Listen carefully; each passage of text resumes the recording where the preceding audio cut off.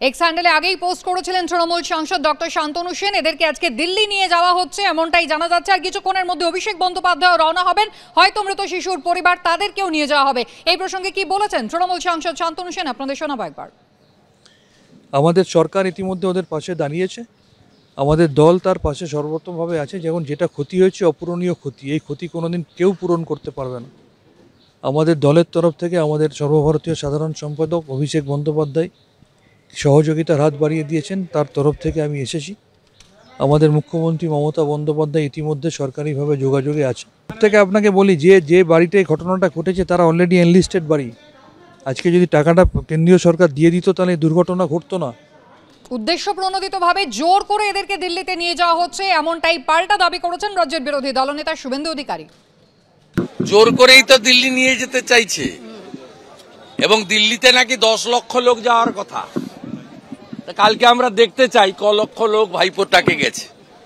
গতকাল তিন তিনটি শিশু মৃত্যুর ঘটনা যখন ঘটলো বাড়ির দেওয়াল চাপা পড়ে আজ সেই ঘটনারই পুনরাবৃত্তি হলো সেই বাঁকুড়া এবার বিষ্ণুপুর নয় ছাতনায় যেখানে বাড়ির দেওয়াল দোষে মৃত্যু হলো এক বৃদ্ধার এবং সেই ঘটনাস্থলে গেলে স্থানীয়দের বচসার মুখে পড়তে হয় বিজেপি বিধায়ককে এখানেও তৃণমূল পঞ্চায়েত প্রধান তিনি একই অভিযোগ করেছেন আবাস তালিকায় নাম ছিল কেন্দ্র টাকা দেয়নি তাই বাড়ি তৈরি করা যায়নি আর তার ফলে এই দুর্ঘটনা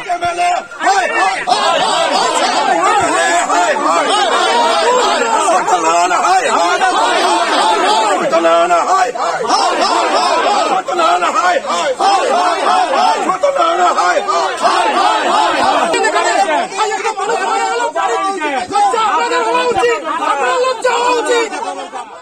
বাঁকুড়ায় পরপর দুদিনে চারজনের মৃত্যুর ঘটনার এবার আপনাদের বাঁকুড়ার পাশাপাশি দেখাবো বীরভূমের ছবি। বীরভূমের লাভপুর একই ঘটনা ঘটেছে। ডাঙ্গাল গ্রাম বাড়ির দেওয়াল ধসে পড়েছে এক বৃদ্ধের মৃত্যু হয়েছে। ময়না তদন্তের জন্য দেহ পাঠিয়ে দেওয়া হয়েছে। ভাস্কর মুখোপাধ্যায় প্রতিনিধি রয়েছেন আমাদের সঙ্গে টেলিফোন লাইনে। ভাস্কর পরিবার সূত্রে কি জানা যাচ্ছে? আবাস যোজনার তালিকায় কোথাও কি এই পরিবারের নামও ছিল? দেখো, একদমই কারণ এই যে গতকাল থেকে টানা বৃষ্টি হচ্ছে এবং সেই টানা বৃষ্টির কারণে আজ সকালে ঘটনাটি ঘটে এবং সেটি লাভপুরের ডাঙ্গাল গ্রামে।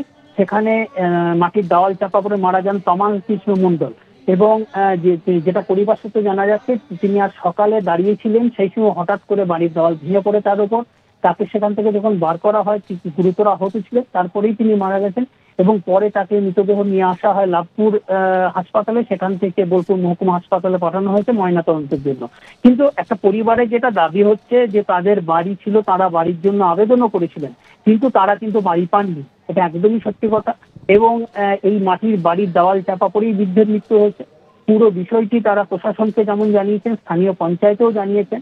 এবং প্রশাসন, আমরা ওখানকার স্থানীয় যে বিধায়ক রয়েছেন অভিজিৎ সিংহ তার সঙ্গে কথা বলার চেষ্টা করেছিলাম। তিনি জানিয়েছেন, এই মুহূর্তে তিনি বাইরে আছেন, তিনি খোঁজ নিয়ে পুরো বিষয়টি দেখবেন। ভাস্কর ধন্যবাদ।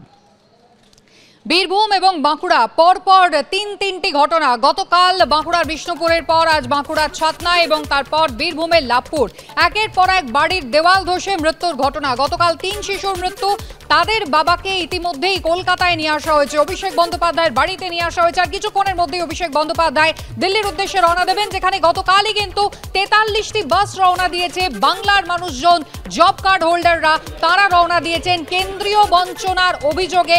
আগামী দুদিন ধর্ণা, বিক্ষোভ কর্মসূচি রয়েছে তৃণমূল কংগ্রেসের আর তাতেই অংশগ্রহণ করবেন, নেতৃত্ব দেবেন অভিষেক বন্দ্যোপাধ্যায়। আর কিছুক্ষণের মধ্যে তিনি রওনা হবেন এবং মৃত শিশুর পরিবার, মৃত শিশুর বাবা, তাকেও আজকে নিয়ে যাওয়া হবে। এমনই পরিকল্পনা শেষ মুহূর্তে এবং আর কিছুক্ষণের মধ্যেই অভিষেক বন্দ্যোপাধ্যায় রওনা দেবেন।